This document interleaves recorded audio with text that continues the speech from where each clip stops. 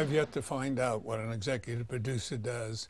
Uh, it's assumed that he uh, essentially runs the show, uh, but that's contested by everybody else involved in the show. Its initial uh, appearance was in the mind of Dan Melnick, who conceived of doing a spoof on James Bond. And Dan and David Susskind hired Mel Brooks and Buck Henry to develop it. And I thought they did a remarkable job. Uh, I was intrigued by the original script. However, ABC didn't share mine or the office's sentiments. Uh, Dan made an egregious error in rebutting them by saying, when we come back with the rewrite, uh, if you don't like it, you can have your money back. And when the rewrite was turned in, they asked for the money back. Uh, that was startling, unprecedented in those days. And it was a, an egregious blow to us. It was the end of the pilot season. All most shows had been shot. There was nowhere we could shop this script, and uh, uh, we were in the doldrums and feeling bad when N- NBC uh, presented a, a, lifeline. They uh, had a, looking for a property for Don Adams, and uh, we decided that he'd be ideal for this. And of course, that meant the property we have to pitched on the West Coast. Um, the show had been originally written with Tom Poston in mind. I don't know if you're aware of that. Mm-hmm. And so it was much more physical than it was verbal. Once we had to consider the possibility of uh, Don Adams being in it, we knew it had to be more verbal and, and reconstructed slightly, and we didn't yet know whether Don was capable of any physical activity. Um, a third character in New York is important in this story, Dick Dorso. Dick Dorso was the agent representing Get Smart. He had been rejected twice by ABC, and he was unduly nervous and, uh, and overly concerned in my, my mind. Uh, he would call me every day. I was doing a polish on it, and I couldn't really find anything to polish. I thought it was essentially a marvelous script, but we had the two defeats behind us. Um, so each day I'd say, I'm working on it, Dick. And he'd say, please, we're going to have a meeting in a week. And a meeting had been scheduled with Grant Tinker at, uh, of NBC, whom I did not know. And I didn't know Dick. Uh, I was uh, aware of him, but I had never met him. But I had this constant uh, concern uh, pressed upon me each and every day. And I finally, I said, I have an idea for an opening. And I, I, I added a door sequence. Uh, and then I did um, a little bit more, a joke here and there, and I put an agent in a confined space. And, and each day Dick would be reassured and uh, for temporarily. And eventually the meeting was held at the Beverly Hills Hotel in Dick's room. He had flown out here, and Grant Tinker showed up. Uh, uh, and we were sitting in a, a triangle. Uh, we were virtually equal distance from each other, and um, uh, Dick and and and and uh, Grant knew each other, and I knew neither of them. But the two men were uh, talking amenities, and I joined in on that. And finally, Grant said, "Okay, let's get down to why we're here." And he said, "I read the script last night, and I read it this morning, and I love it." And Dick said, Don't worry, Leonard can fix it. so then and there, I realized something is amiss here unless these are two practical jokers. And uh, the more Grant said uh, lavish and marvelous things about uh, Get Smart, Dick would say, and Leonard's got an idea to change the opening, and he's going to put in a sequence with a, another agent. And I realized Dick was so conditioned, it was Pavlovian. He, he was only hearing the uh, negative thoughts. And if they weren't there, he was making them up. So I decided I better, if surreptitiously, if at all possible, let him know he's on the wrong key, playing in the wrong key. But I couldn't reach him. I couldn't extend my foot far enough. So I gradually slid down, as I'm doing now, in my uh, chair until I thought I could reach him. And at that time, I fell out of my chair. And I cl- clump on the floor. The both men looked startled. They'd been so preoccupied with their own thoughts and I started to laugh. And they said, What's so funny? I said, You haven't heard each other. And I think I introduced Maxwell Smart uh, moment into this meeting. And I explained to him that uh, Grant loved the show and Dick only heard uh, uh, dis- disclaiming, dis- defaming things. And uh, pretty soon we all were able to laugh at it. And that's the history of, uh, of how suddenly Don Adams became Maxwell Smart. I had served in counterintelligence during the war, so I had an appreciation of the absurdities uh, that went on in real life, and so capitalized on them in uh, on in and on film.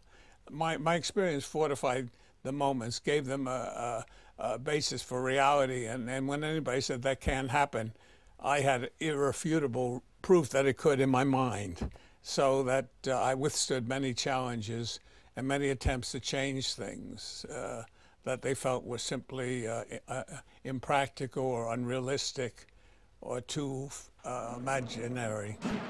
Well, we were very fortunate. There, there was a community of writers and actors in New York. It was live television. It was the last gasp of uh, playing before an audience of substantial size, having an opening night every week. It was remarkably rewarding and exhilarating. So it attracted gifted writers. And you had an enormous challenge. You, you, there was no laugh track, thank God. And, and so we benefited from that. We had to earn our laughter, and we were skilled enough to do it, or we were gone. And uh, as a consequence, everybody was honed to perform as, even when there wasn't an audience, as if there were an audience. Uh, and so the performances always played, even on Get Smart, where we did not have an audience, to an audience. And as a consequence, whenever I took a film and ran it before an audience, we would be fiercely right about the moments that they were going to respond. And uh, we never used a track where we didn't get a laugh from the original uh, audience, but our, our perceptions and uh, guesses were close to 100%. I had had, if I may indulge in this on myself, I had done the Steve, uh, the Jackie Gleason show in New York for four years, the Bilko show for a year, and Steve Allen for four years. And when I came out here, because the business moved out here, I couldn't get work, because sitcoms uh, didn't want writers who wrote jokes, they said. But what they went, meant is they didn't want jokes in, in a comedy, which sounds maddened, uh, because they had actors who couldn't be funny. So it was a bizarre transition and uh, bewildering. Ultimately, enough of us went back to the our roots and did shows in front of audiences once again, and and, and survived if, if for ourselves, if not for others. Yes uh, I had a, a, very bright and uh, likable human being who ran a studio said to me, Leonard, we'd love you to do a comedy for us, but we don't want jokes. And I, I, I said, you, don't mean that. He said, yes, I do. And I said, I feel like I'm at the Mad Hatter's Tea Party.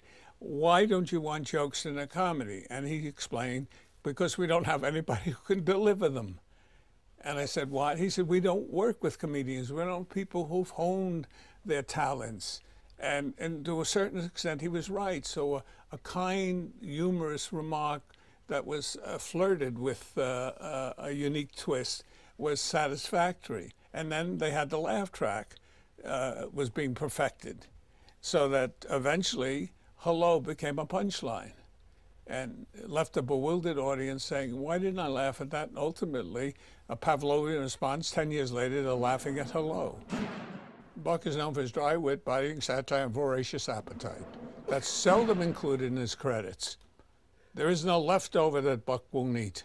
It was a blessing in the first year to have Buck as the uh, story editor. Uh, we ourselves had great admiration uh, for the current events, uh, converting into uh, fine uh, comic material. And, and Buck, as you said, was wry and mischievous. And again, we collaborated on a, two part script, but it was a fascinating collaboration because uh, literally we talked story.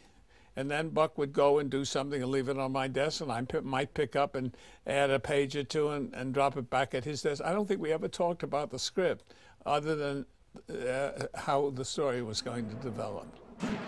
It changed with each year. When Buck was story editor, uh, it was his imprimatur, mainly upon their scripts. But I would work with Buck very closely and uh, hopefully assiduously on story. I felt the story had to be there or get the Get Smart would not succeed. I'm a great believer that essentially you got to tell a, a well constructed uh, beginning, middle, and end story, and in that order. Uh, the um, and once that was there, I, I felt Buck was uh, adroit and, and extraordinarily gifted dialogue. So we only collaborated in that first year on when he wanted invited me in, or on the scripts we did together. Um, except for, as I said, for story. Uh, the second year, I think Arnie Rosen came in, who was uh, again uh, very gifted. I, I, oh, remember people I had worked with. Uh, Arnie Rosen been on Bilko. Uh, so they had this history of uh, marvelous material, so you could trust them. And, and, and I didn't believe in there being uh, interfering executives, uh, and I didn't want to be one of them. Uh, and so Arnie, then the third, fourth, and fifth years, Arnie Sultan was there, and Arnie and I had worked many, many collaborations together, starting with Steve, Bill, Steve Allen Show. Uh, so that I always had a very strong a, a producer or story editor involved in the process. And I think uh, Get was the beneficiary of that. Bill was very good for Don, and Don was good for Bill. They, they had a compatibility and a, a synchronicity that was rare. And as you know, uh, some of the, uh, our uh, standard responses on Get Smart were the uh, result of a collaboration between Bill and Don. Would you believe is Bill and Don's? And it stood us in good stead through five years. Uh, and that experience Don had working on Bill's film uh, was important because he essentially was, as you said, and, and no, he was a stand-up comic, but he didn't have much experience working. He's innately a very fine actor and it certainly manifested itself in, Get Smart. Uh, so he came to us for Get Smart, ex experienced in getting laughs, and knowledgeable about a three camera technique, which we essentially employed even though we were one camera show. We went for the laugh. We didn't say it's an incidental part of Get Smart. It was the soul of Get Smart to be funny, to be witty, uh, to amuse, you know. Often I hear Maxwell Smart uh, described as bumbling and stupid, and I am very resentful for that because he, he is not that. And if you look at it, only on a badly written show is he that. Occasionally he was. But really, he's um, un, an unfathomable character, the chief, but an infallible one he, he succeeds at everything. And that's important to remember. And so that you say that whatever it is, the preoccupation, being self centered about the issue, uh, keeps him from noticing that he's walked into something. But very often he's the victim of, of society or inept. Uh, uh, structuring of, uh, of a, a, a, a, chair or a, a, bench, a couch, a wall, and, and when Maxwell leans on a, a globe, you don't expect it to spin. And, uh, but he always recovered. Notice he came up immediately. Max was never deterred by whatever happened to him. That was the immediate past and forgotten. Barbara was good fortune, uh, blessed with enormous uh, insight on the part of David and Dan. They saw her potential from a commercial. Uh, she was doing a lady, uh, uh, something with tigers on a rug. And uh, she was very appealing, sensuous, and yet uh, a lady and dignified. Uh, an odd and uh, almost ironic combination. and engaging and, and, and enchanting. And we decided to put her under contract. 4.99 when we hadn't even showed the show. I don't think we'd even finished the script. So Barbara was under contract, and we, the way of paying off a contract, we had a show in New York called Mr. Broadway, with starring Craig Stevens. So Barbara played a role in that from I think from time to time, but maybe only once. And uh, uh, we saw that she was indeed at home and acting.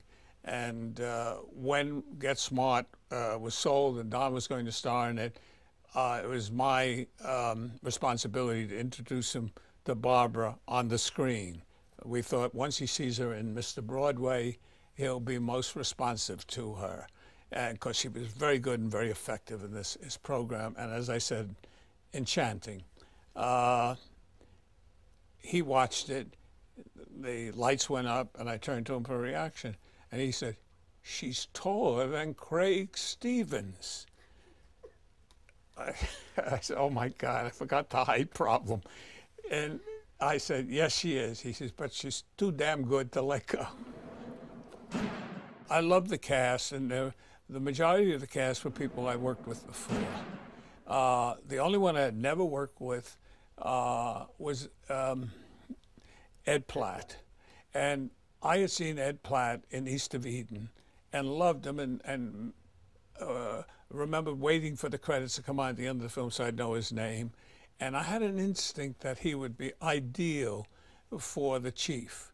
Uh, and uh, I called him in. My only concern was, would Ed be at home in comedy? Could I get that dramatic performance and not uh, bowdlerize it or prostitute it? I'd want the drama. I want the authority, but I also want him to be aware that there's a comedy going on. And I told him that. And he looked at me a moment thoughtfully, and then he stood up in my office, and suddenly he was singing Old Man River.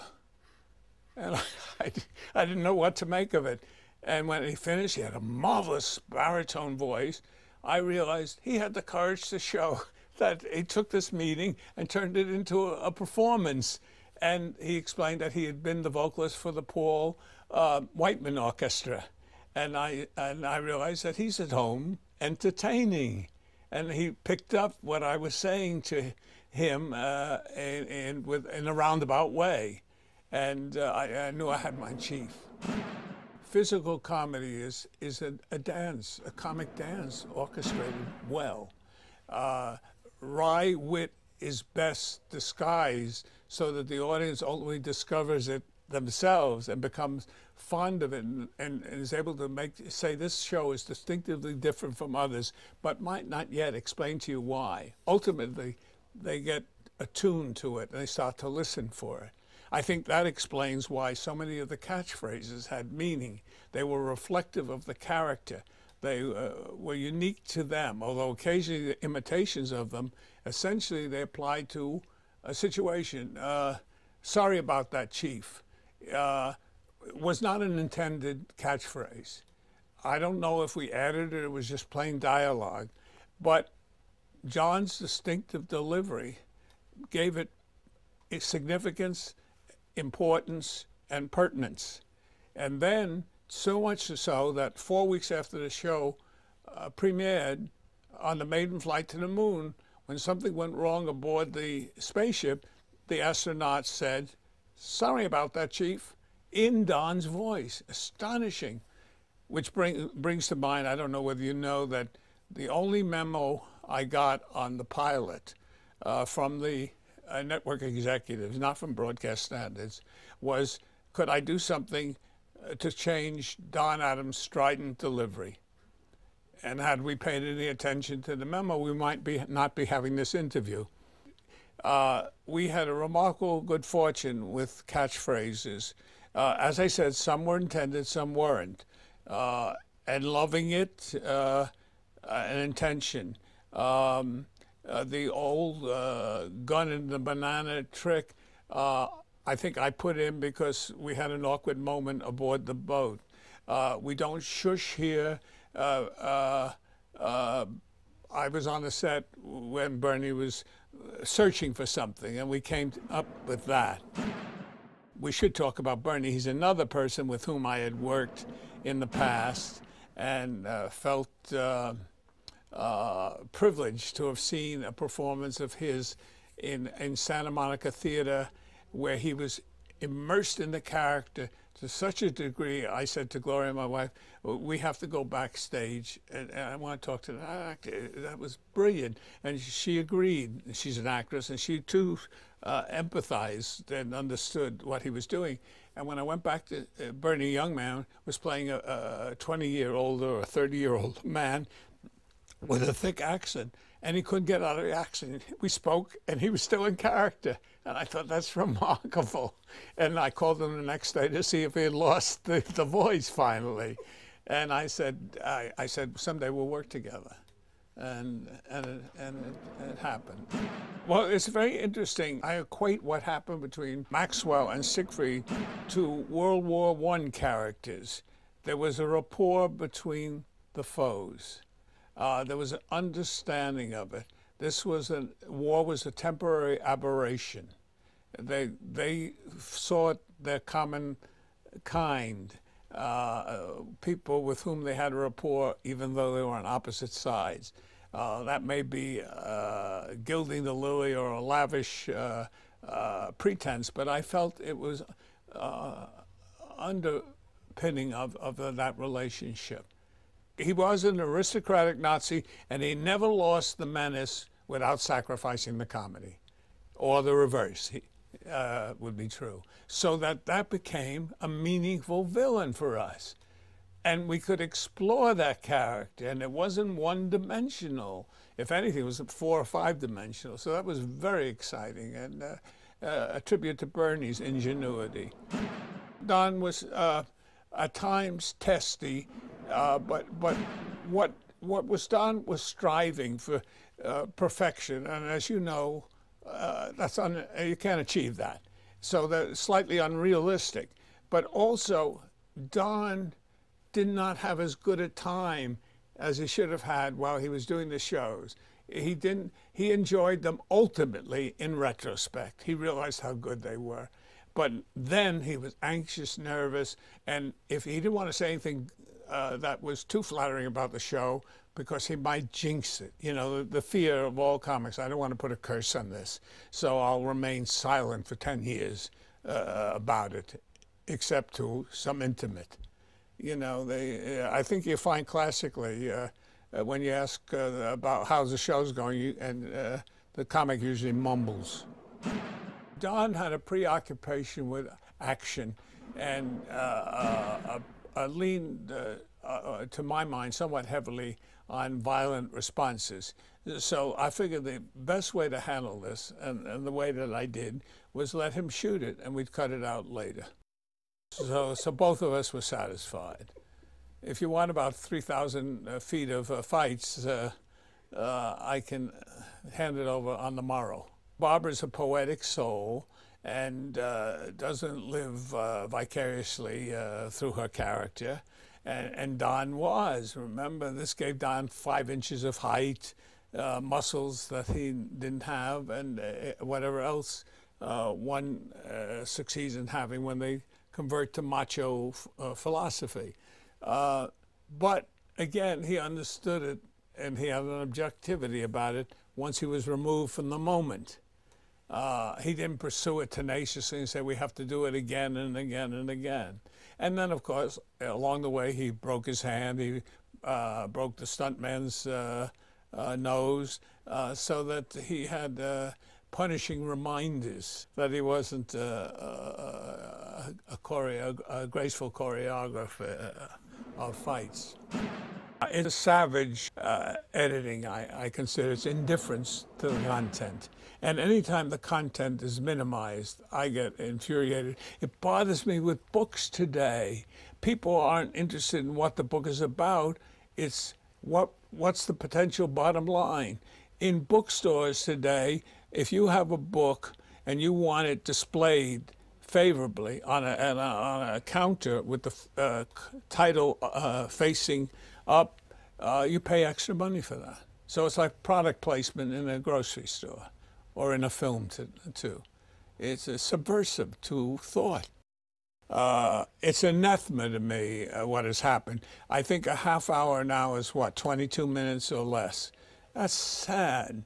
They're entitled, uh, this is public airways, uh, if I remember correctly, and uh, they're entitled to, I think, three minutes. Uh, when there was a code, when the National Association of Broadcasters existed, there was three minutes they could have for commercials. that's abused now, and the credits are squeezed. There's contempt for the contributors and that's infuriating.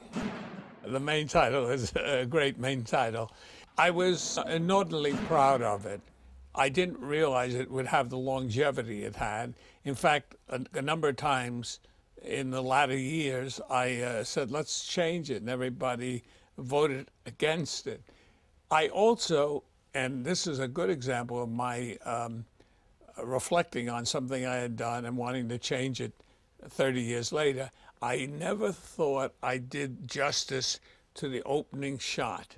I felt I should have handled that better. The camera should have been on the indicator, the dial, until and stay there until you're firmly convinced it's an elevator before it pulls back and the doors open and he's walking down a staircase. I, I, I just felt that never sold, and if I had another chance, I could do it better. And then the rest was fun. And uh, eh, that was simply how many, how many doors. I had had a personal experience going to report to a, a, a headquarters that had a labyrinthian setup. So it always stayed in my mind. If I was in a hurry, I might have and had an important message. It would never arrived in time, and so I, I figured, well, uh, every conceivable door, open in, open out, slide up, slide down, and ultimately the phone booth uh, was seemed to be the perfect destination for for Maxwell. Now here a memory comes to memory. We were trying to figure out uh, the cost of uh, either digging a hole on the stage or finding some way to uh, collapse the, the floor and all. And we were talking about it, and the estimates were running high. And Don said, "What if I just dropped to the floor?" We said, "What?" He said, "Let's try it." And that's what he did. Uh, we built the phone booth up a little to uh, obfuscate or obscure him, and then he dropped to the floor.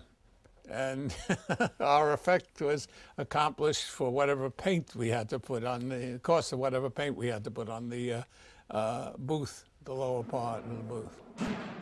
Get Smart attracted a unique fan base.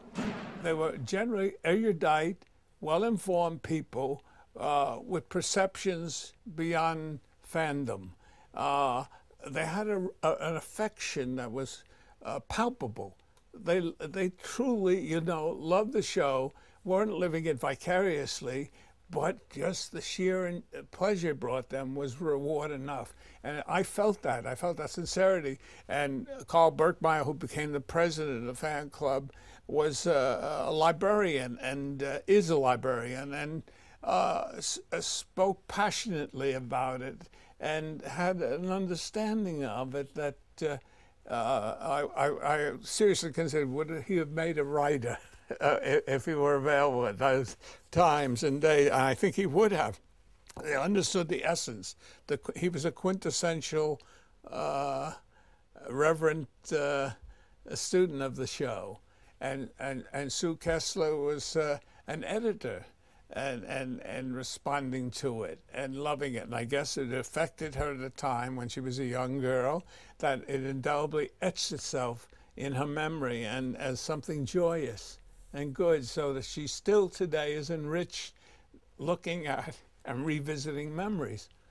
You know, I enjoyed them, I think, as, as much as they enjoyed me, and and it, and it, it led me into a world I normally don't traffic uh, or and I, I, have been amply rewarded by the relationships. It's, it's not been unilateral.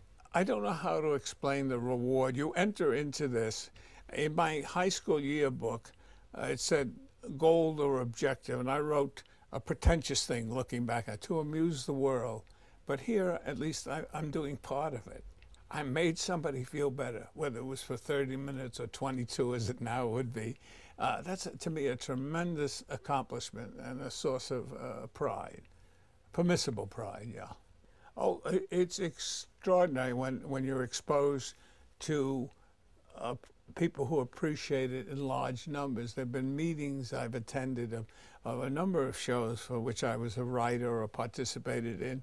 And I found, even with Get Smart, that the audience, the fans, the um, people who uh, dwell in, in, in the uh, uh, archives of Get Smart, um, they know the show better than I do. They'll ask me questions and I'll look puzzled. They say, no, that was in that episode. I say, I'll take your word for it. I don't remember it. I remember uh, we were nominated and exhilarated when we won. Uh, and uh, it, we had, uh, to be honest, I think we thought we'd win the previous year, which we didn't. So we'd been disappointed and we were a little callous and concerned about being too anticipatory. Uh, uh, and when it came, so it was, it was gratification, uh, belated gratification. So, but we felt good about it. And then uh, uh, Buck, uh, I knew would be loquacious and equal to it, being a stand-up performer, and so he took over at the microphone. I remember that and said some marvelous thing, and I just said something I think uh, that he had taken away what I was about to say. Uh, he, yeah, uh, anticipated me. Uh, I don't remember, but no, he, those moments are blurs. You realize this. So I only remember that the year before we thought we might win, and this year it was less uh, uh, anticipatory. We, I think we were prepared that we might not win again. And so it became a, more of a surprise, but at the same time, it, uh, it was redemption.